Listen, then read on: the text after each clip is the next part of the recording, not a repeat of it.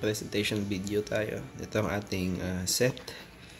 Uh, piso Wi-Fi set na merong uh, LPB piso Wi-Fi na merong VLAN ng new Wi-Fi using OpenWRT and then meron na rin siyang uh, naka ano na siya naka-config na siya for anti-lag, ad block and anti-buffer bloat and also uh, kasama na rin as per request is meron tayong set na may kasamang Comfast E314N V2 ito yung high power directional ng Comfast and then syempre pareho lang sa mga sets natin. May kasama pa rin siyang mga cables.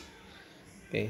May cable dito para sa AP 10 meters tapos another cable na 5 meters para from the adapter to the new Wi-Fi. And then meron isa pang cable dito kasi naka-VLAN nito siya is from the machine or Orange Pi board papuntang new Wi-Fi VLAN port. So, paano yung wiring niya? Ah, before natin start yung presentation. So, basically, ito yung internet source. Kakabit natin sa anong internet source natin. Ito naman, kakabit natin sa Orange Pi kasi this is the VLAN port or controller. Tapos meron tayong tatlong AP dito na pwedeng lagyan. So, nilagay ko dito yung isa nung sa akin, yung E314.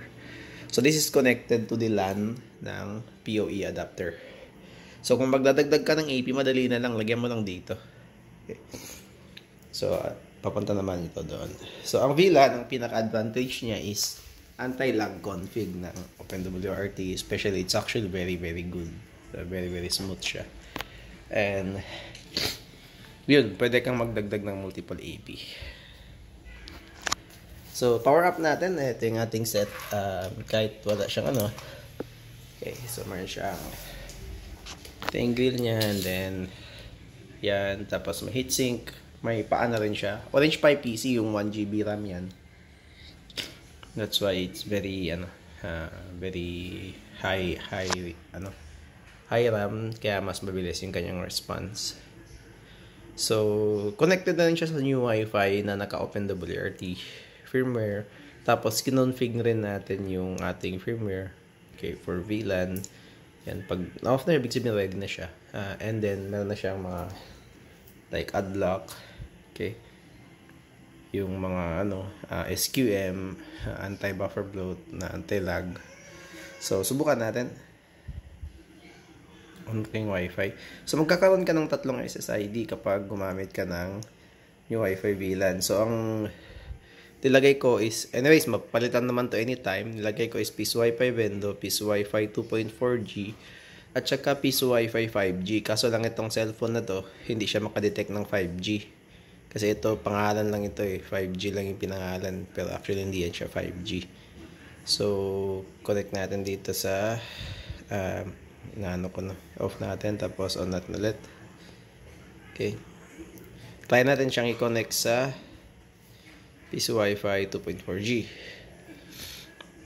which is basically yung piso wifi ng new wifi yung 2.4G signal ng new wifi. Yung 5G signal ng new wifi hindi ma-detect nitong cellphone kasi wala siyang 5G okay. So yun. Insert money tayo. Yan ilaw siya kapag nag-insert money ka. Okay, lagyan natin ng coins. Okay, mayroon ako ditong piso. Ah, may 5 pala ako doon sa likod.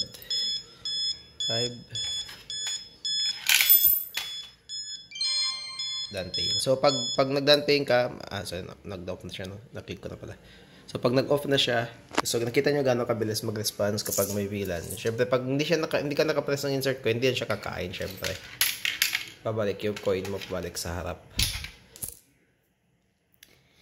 So, let's try, no? Pasok tayo, pwede tayo mag-YouTube. So, again, ang pinaka-ano nito is napaka-smooth ng trans, trans kapag mayroon kang VLAN kasi tumutulong yung new Wi-Fi. Doon mismo sa ating network. Nakita niyo gano'n siya kabilis mag-response. Okay. So, you can actually see it. Mas malinaw talaga siya doon sa admin 10.0.0.1 admin kung gaano siya kabilis no yun mo talaga siya ma kasi kapag walang ano walang VLAN sobrang bagal ng maba, hindi naman sobra, pero mabagal yung response nitong nasa admin kapag nasa admin na naka-admin interface ka. Yan. So, open na tayo sa maintenance. Nakita natin yung license.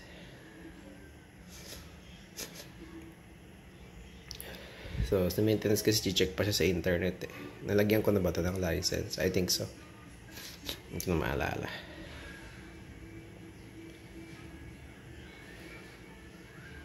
Na-click ko ba yun? So, first is sa 1, nilagyan ko siya ng static. Ayan yun po yung license niya. So, medyo matagal kapag doon sa maintenance. So, sa 1, sa 1 po, nilagyan ko siya ng static IP. Okay, which is better kapag VLAN kasi pwede mong kontrolin itong static IP na to. So, ito yung IP ng ating uh, internet source. Which is actually internet source natin di man di man diyan sa ano sa actually PLDT pero kung nilagay natin sa new wifi so magbabago siya di ba? So magbabago yung kanyang IP so next is pula tayo. Nilimit ko yung speed niya ha?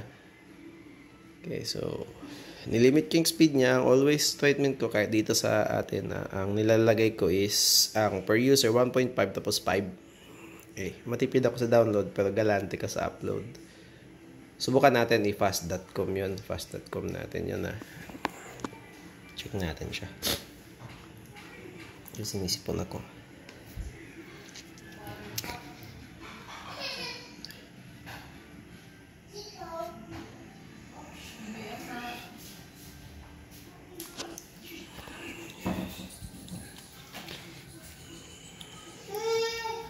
So, makita nyo, uh, ah, 1.5 lang talaga yung lagay ko, tapos 5 yung upload.